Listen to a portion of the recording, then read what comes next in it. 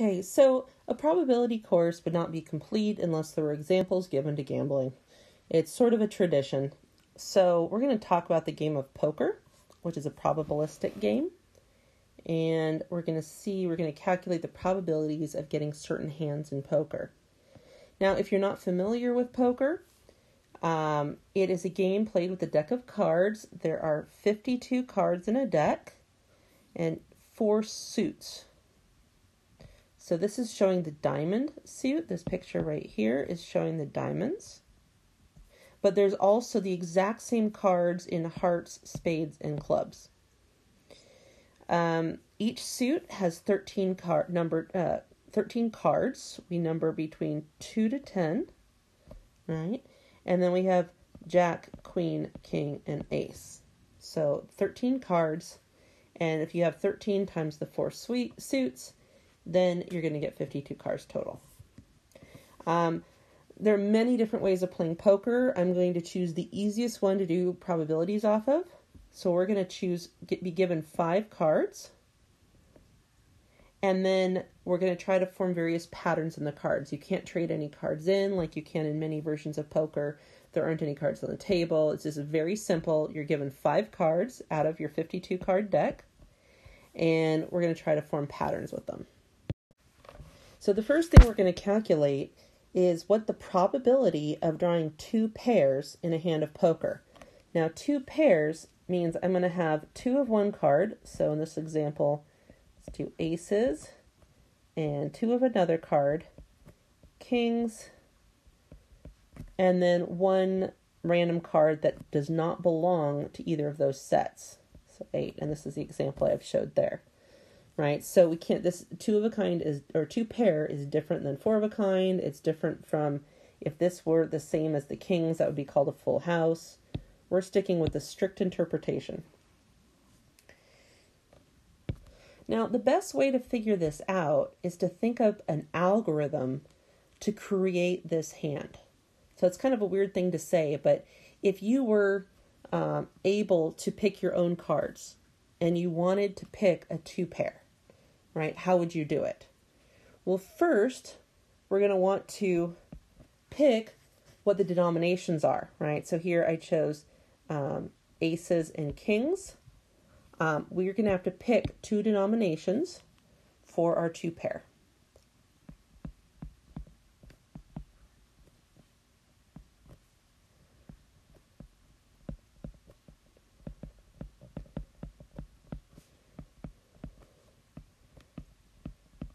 Okay, and we're, we'll figure out how many ways there are to do that later. Once we've figured out our denominations, ace and king in this example, we have to choose. I'm going to look at the smaller denomination. In this case, I'm actually not sure if that's ace or king. I guess ace is sort of both a one and better than the king. Um, so we'll say whatever one is lower, you can pick. I want to choose two cards from it.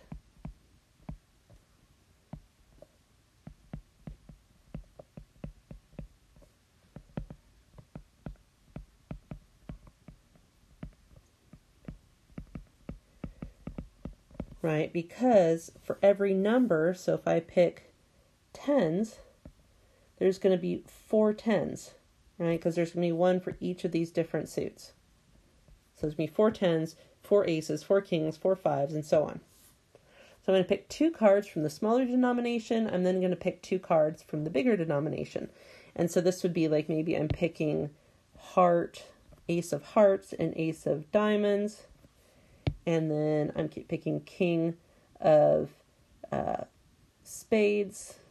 See if I can draw this very well. And uh, king of clubs. Okay, very poor drawings, but you get the idea. Okay, so that's step three. We're going to choose choose two cards from the larger denomination. So we've now picked in our in our algorithm, we've chosen those cards. I still need to pick this last card. So I'm going to choose one card left from those remaining.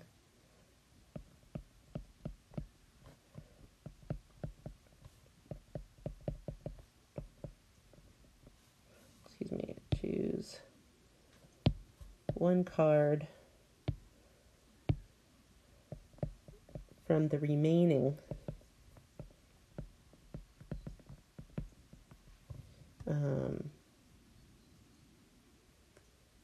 denominations.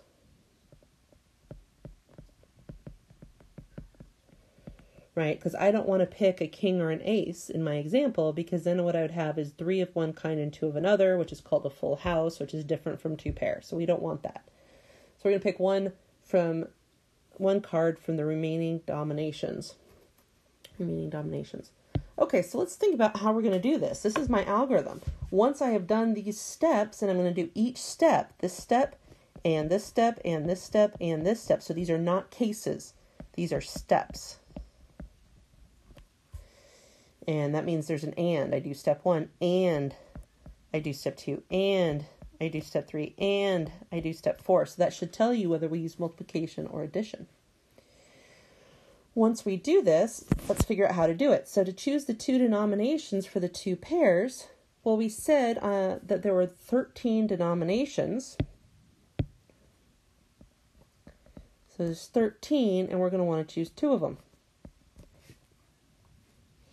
Right?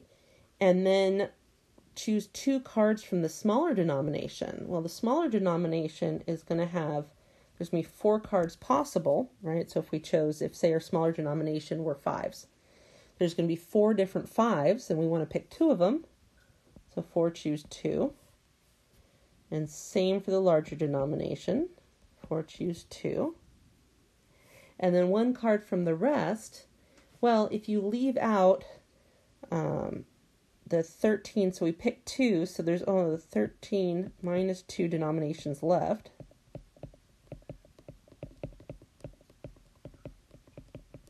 Which is 11, right? And there's 11 times four cards per denomination. Is going to give us 44. So there's 44 cards left that we can pick our last one from. 44, choose one. And this algorithm, if we work all these out and multiply them together, because we're doing all these steps, this isn't cases, this is steps. So each step is independent of the previous one. Uh, and we're going to do them all. So we multiply. We're going to get a number. So let's go to the next page for that. So as I said before, since these are steps in the process, um, in a process of independent steps rather than distinct individual cases, we're going to use the multiplication rule. So if we figure this out, we had 13 choose 2 times 4 choose 2 times 4 choose 2 times 44, choose 1. And this is going to be 13 factorial over 2 factorial times 11 factorial times over 2 factorial times 2 factorial. It's going to be the same. 2 factorial times 2 factorial, 2 factorial. And then finally 44 factorial divided by 1 factorial, which is just 1, and 43 factorial. And if you work all this out, you're going to get this is equal to 78 times 6 times 6 times 44. And you'll find that there are 123,552 ways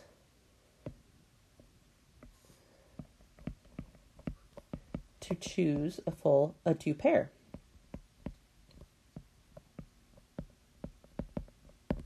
Right? That's what this is. This is not the probability of choosing a two pair. This is a really common mistake I see people do. They'll figure this out and they'll say, Well, I'm done. I calculated it. There's the answer. But we haven't answered the question yet. We've just answered, we've just answered part of the final answer. So we figured out how many ways there are to pick a two pair. Now we need to figure out what probability of grabbing that combination at one of these ways are there? So we want to figure out the number of ways there are to total in total to to draw five cards randomly out of 52. So this is going to be 52 choose 5 which is going to equal 52 factorial 5 factorial times 52 minus 5 factorial And if you work this out, you're going to get 2,598 ways, uh, 98,960 ways of drawing of drawing five cards.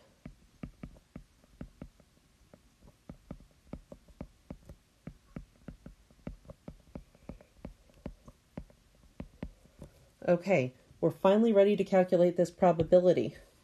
So, we want to know if we randomly drive five cards, how likely is it that we'll get two pair? So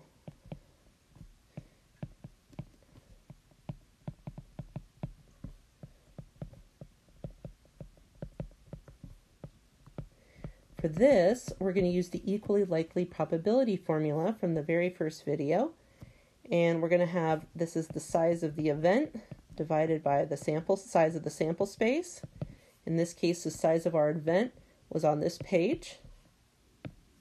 And it's going to be 123,552. And the size of the sample space we calculated right there. It's going to be 2,598,960. And this works out to approximately 4.75 percent because it needs a little bit of rounding. Okay, so if you have a deck of cards and you want to randomly draw five, there's a 4%, 4.75% chance, almost a 5% chance that you'll get two pair. And what's interesting is this is how, if you were to go um, to a gambling facility where they have video poker, this is how they figure out the amount to pay you if you win. So, say you get two pair, well, they figure out how likely it is. Well, it's almost 5%. You have almost 5% chance of getting it. And so they'll offer you, say, 4% of the money you put into the game. So that's why they say the house always wins. It's because they figure out these probabilities, and yes, you get money, but not as much as the probability of getting it would be, if that makes sense. Okay, so now I'd like you to tr- you to try one um, I'd like to figure out the probability of drawing four of a kind in a hand of poker. So, why don't you pause this video and take a few minutes and try to work it out, and then come back and we'll go over it. Okay, so once again, I want to construct an algorithm of how I would draw a four of a kind in the game. So, step one I'm going to choose a denomination.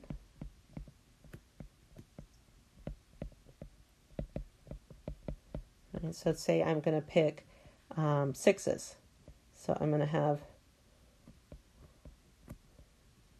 four sixes and then some other random card doesn't matter maybe it's a a 2 right so i'm going to pick a denomination to have my 4 out of my 4 of a kind and how many ways are there of doing that? Well, we said there's 13 denominations.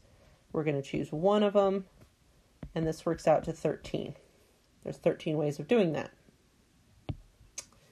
Okay, the next thing is I don't need to pick how many from each denomination because I'm going to use the entire denomination, right? So this is going to, I'm going to have a hearts, I'm going to have a diamonds, I'm going to have a spades, and I'm going to have a clubs, right? Because that's the only way to get four of the same um, value. So the next step is I just need to pick what goes last. What's that last uh, last card? So choose a card from those remaining.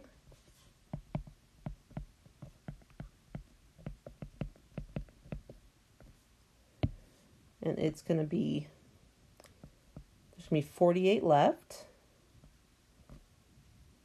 Right, because we've chosen 4. And so 52 minus 4 is going to give us 48. We're going to pick 1. That's going to equal 48. There's 48 ways of doing it. So there are 13 times 48 equals 624 ways of making four of a kind.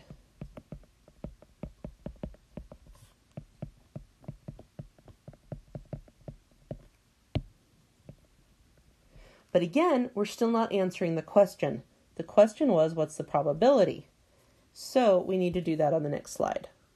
I'm sorry, there is no next slide. Let's do it here. So we figured out we're going to get 624 ways of making four of a kind. If we go back, we found this value um, of how many ways total there are to choose five cards randomly. So we're going to divide by that. So that is 2,598,960. So this works out to 0.024% chance and the less likely the probability of it occurring, the more is usually it's usually worth in a game of gambling. Okay, and you can figure out other hands, you can calculate all these values for all sorts of different games of chance. As a last note, um, if you enjoy reading, there's a great book. It's a little older at this point. It was printed in 1999 but it was called The Predictors. And it's um, by Thomas A. Bass.